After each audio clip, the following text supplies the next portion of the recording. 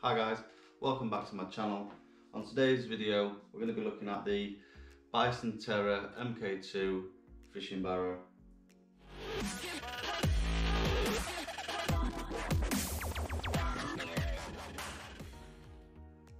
I got this barrow a few days ago as I was looking for something to get my gear from the car to the peg when I'm fishing. Uh, don't have a lot of money to spare, especially with the time of year that's coming up.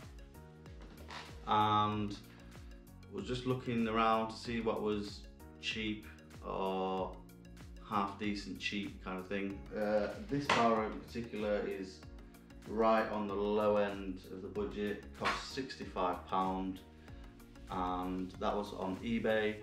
I've been looking for a fishing barrow for a while. I don't have a big budget as I get to fish maybe once, twice a week tops.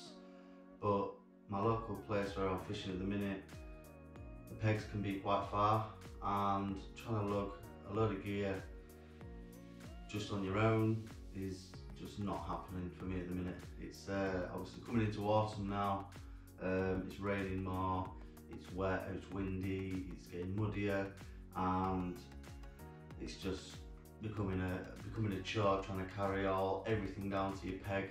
It's not so bad if you're right near where your car's parked, but a lot of the time you're going to be travelling a fair bit of distance. So I was having a look around for something relatively cheap. Uh, saw the um, Bison Terra on eBay for £65. So I had a little look around and see what people's reviews were. There was a mixed bag really, there was some good, bad, and some kind of in between. Um, a lot of people did say that on this, the wheel itself isn't great. Uh, a lot of people recommended on changing the wheel. So, but to be honest, you can probably pick up a, a wheel that'll fit this for maybe 10, 20 quid from your local Wickes slash B&Q or even online. I thought I'll give it a go. I had a look on YouTube, there is a few videos, not nothing majorly, and I took the plunge, paid the money and got delivered a couple of days ago. So I thought, well, what the heck, why not do a little unboxing video as well? So came in two boxes. First box was just a wheeling on its own and the larger box came with the actual meat of the barrow kind of it's already made up for the most part you've got two handles and it's all literally not far off ready to go so you just have to attach the wheel attach the handles uh, clip the bag back into place and then you're pretty much ready to go. So you've got a quick release kind of uh, clip here where you just um, release that and pull the legs back and then pop your clip back in place. And then down and you've got three kind of uh, wing nut style bolts so I think compared to some of the more expensive brands on the market I think the pack up time and pack down time is probably going to be a little bit longer. Obviously some of these have a quick release, whereas this is doesn't. Although in reality I don't think it takes that long to be fair to put it up. Once you've got the wheel on, literally, you're pretty much 90% there. So you just undo the two wing, same as the front winglet style handle mounts. They're non-adjustable, um, so I guess in that respect it's not as not as versatile. You can't adjust the length of the handles. You can't adjust the legs of the feet. Uh, the length of the feet, sorry. It's kind of where it goes is where it goes. There's no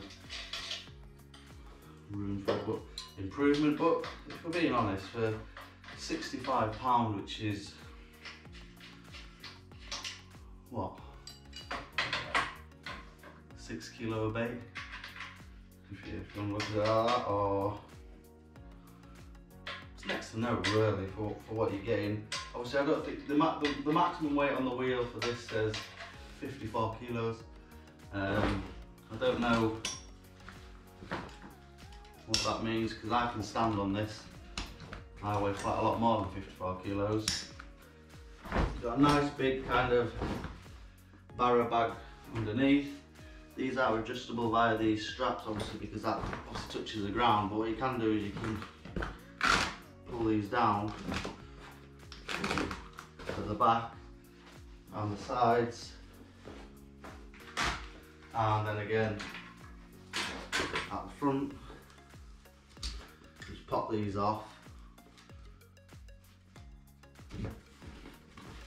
And it just um, kind of raises the height compared to that. Um, width doesn't look too bad. I don't know if I'll get my Fox EOS 2 bed chair on here. Um, but if not, I'm more tempted to lie flat, put my bed on top, open the legs of the bed, and then proceed to load it with everything in the world. Um, feels relatively sturdy. I think for basic barrow, cheap. I think if you're careful with it, I think it'll do you right. It's not going to be your uh, top spec, all the bells and whistles. It's just a basic barrow. And I think if you're just after something to get you from the car park to the to the bank or the peg, wherever it is, I think this is going to save you a lot of time probably save you a lot of sweating. Um, but I just finally needed something. My poor wife's been helping me when she comes along and when it's bad and after a long day it's like oh, I've got to pack all my gear. I've got to carry it to the car. I've got to do 20 trips.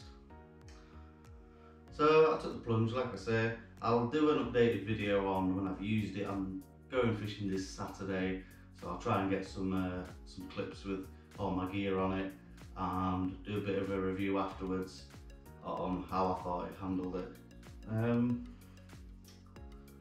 I'll do a close-up walk around of the barrow so you can have a look.